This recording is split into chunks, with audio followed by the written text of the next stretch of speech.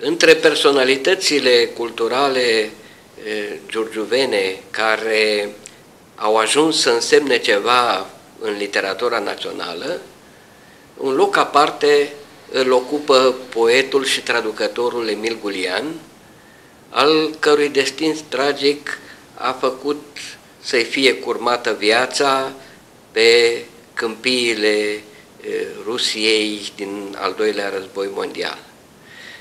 Emil Gulian a fost un poet talentat care a reușit să-și publice un prim volum de poezie în 1934, intitulat Duh de Basm, la cărui apariție însuși Nicolae Iorga l-a felicitat. Apoi suntem într-o epocă în care cunoscătorii de limbă engleză și chiar cunoscătorii ai, ai subtilităților limbii engleze erau destul de puțini în România. Emil Golian a fost unul dintre ei și a reușit să facă o traducere care rezistă până astăzi a poemelor celebrului poet american Edgar Allan Poe. Este un al doilea volum cu care el a onorat literatura română. Despre acest uh, Giorgiovean uh, multă vreme s-a scris puțin, a fost uitat. Uh, în anii 90 a fost readus la suprafață, era fiul unui distins magistrat, fost președinte al Tribunalului Giorgiovean, care i-a urmat în această funcție lui Constantin Barbelian, deci tatălui lui Ion Barbu. Dan Barbelian, tânăr profesor la Giurgiu, l-a avut de altfel elev pe Emil Gulian, care era șeful promoției respective, una din promoțiile celebre ale liceului Ion Maierescu, fiind coleg de clasă, între alții, cu distinsul profesor Marin Marinescu, pe care giurgiuvenii cred că nu l-au uitat. Este de asemenea fiul unei profesoare care a făcut epocă, directoarea Liceului Industrial de Fete din Giurgiu, doamna Elena Ionescu Gulian a fost vestită în învățământul preuniversitar românesc prin corectitudine și severitate. Este de asemenea Uh, un uh, uh, absolvent al Facultății de Drept, un mare ziarist, publicistica lui încă nu a fost strânsă într-un volum și a și plecat de altfel, mobilizat în război, ca reporter pe front. Din nefericire a căzut prizonier și a pierit în condiții tragice, cum spuneam, în Marea Stepă Rusă. Oricum, multă vreme soția și fica au așteptat o minune să se întoarcă dintr-un eventual prizonierat și abia la 30 de ani după încheierea războiului, tribunalul a dat o sentință prin care, din punct de vedere al dreptului civil, a fost considerat mort. Muzeul nostru a reușit să achiziționeze la un moment dat un album de familie care reprezintă o sumă a informațiilor esențiale pentru principalele etape ale vieții scriitorului.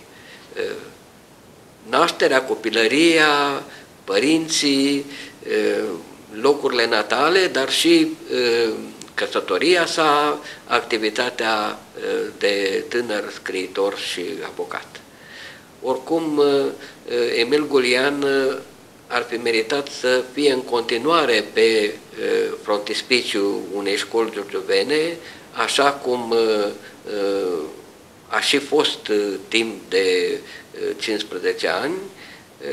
Din păcate, trebuie să mărturisesc public că nu am înțeles uh, decizia unui Consiliu de Administrație uh, care a renunțat la această denumire în cazul școlii gimnaziale numărul 5, preferând un număr care nu spune nimic în numelui unui model de învățătură, de corectitudine, de știință, de cultură, deci de lucruri care ar trebui să stea în atenția tinerei generații.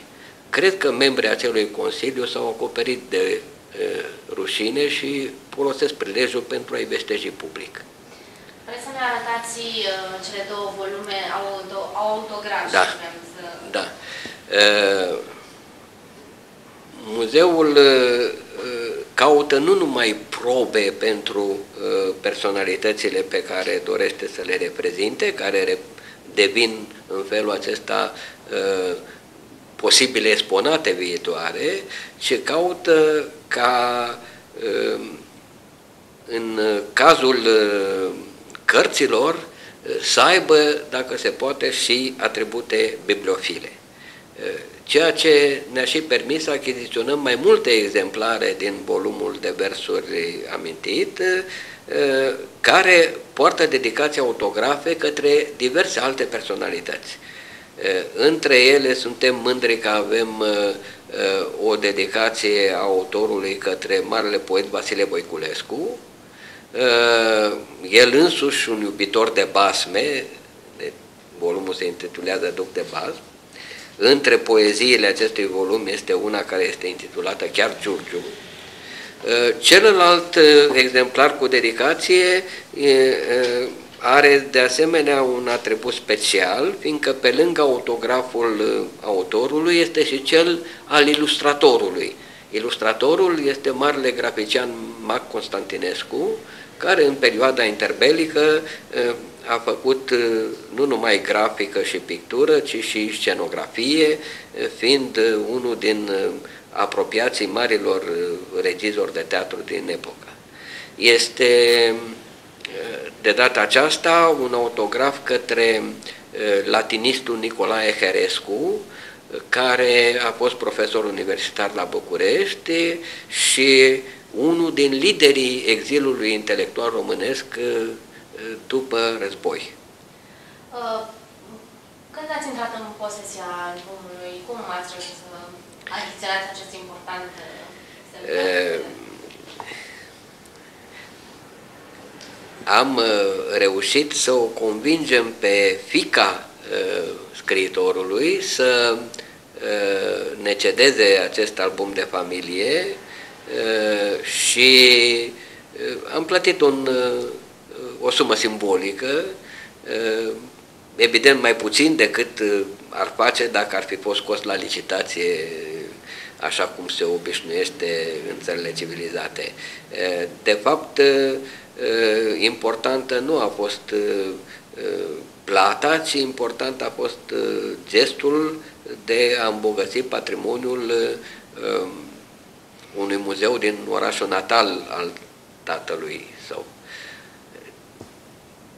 Pentru asta a contat tocmai faptul că prin conivență cu intelectuali din oraș, cu autoritățile vremii, am ajuns la acordarea numelui Emil Gulian unei școli. Toate lucrurile acestea sunt legate și de multe ori Eh, alții nu se gândesc la consecințe și le tratează cu superficialitate. Eh, nu este puțin lucru eh, că Giurgiu a dat literaturii naționale mari poeții, nu toți sunt de același calibru sau nu toți au avut șansa să ajungă până la o vârstă la care să fi avut o producție literară mai importantă. Totuși să ne gândim că Emil Gulian vine în spatele lui Tudor Vianu, Ion Vinea, Ion Barbu, Mircea Demrădulescu și încă alții din generațiile mai apropiate de noi, pe care istoria literară probabil le va valida sau nu opera.